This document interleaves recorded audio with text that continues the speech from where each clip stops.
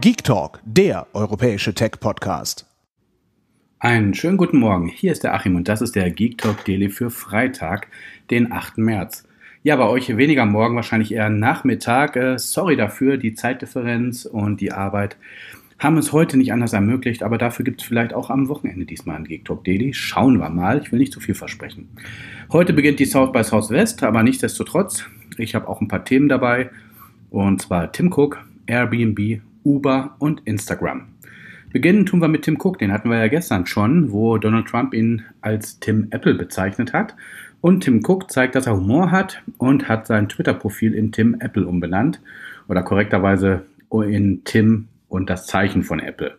Das wird auch nur auf Macs, glaube ich, so korrekt angezeigt. Hätte er mal den Apfel-Emoji genommen, wäre vielleicht sogar noch eine Runde noch cooler gewesen. So ist es ein bisschen auch Marketing.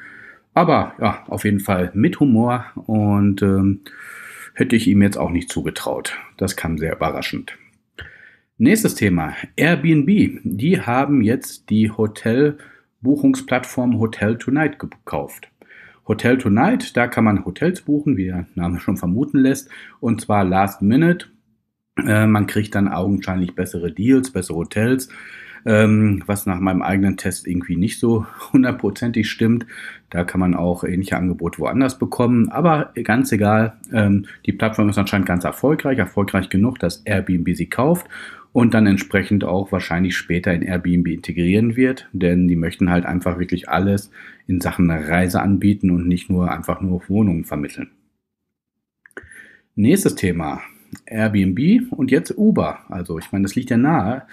Uber und Airbnb sind ja so diese klassischen Sharing-Economy-Firmen. Und Uber hat jetzt 2,6 Millionen US-Dollar in den Niederlanden an Strafe bezahlt, endlich. Die Strafe ist schon länger her. Die bezieht sich noch auf Verstöße gegen das lokale Taxigesetz und ähm, bezieht sich noch auf das Uber von früher, wo Uber dann einfach jeden hat fahren lassen und Leute von A nach B zu transportieren. Und das hieß damals Uber Pop und hat von Juli 2014 bis November 2015 in den Niederlanden stattgefunden. Und ja, damals sind entsprechend die Strafen aufgelaufen.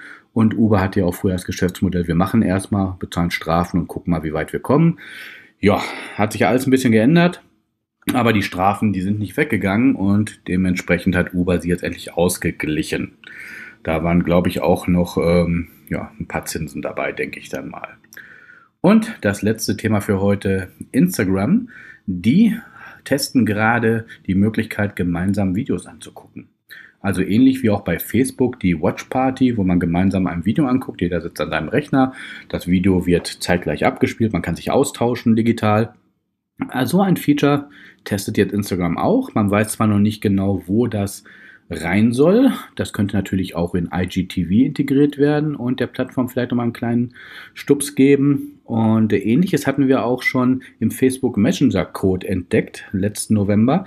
Dort gibt es nämlich auch ein Watch Videos Together Feature. Also wie üblich bei Facebook, wenn ein Feature Sinn macht oder gut läuft, dann wird überall integriert und anscheinend als nächstes bei Instagram. Ja, und das war's dann auch schon für heute. Ich, für mich ist es ja der Morgen, mache mich jetzt auf dem Weg zur Konferenz. Ich wünsche euch noch einen guten Freitag, einen guten Start schon mal ins Wochenende und vielleicht hören wir uns nochmal wieder. Ansonsten ab Montag auf jeden Fall hört ihr den Martin hier. Bis dann, ciao, ciao.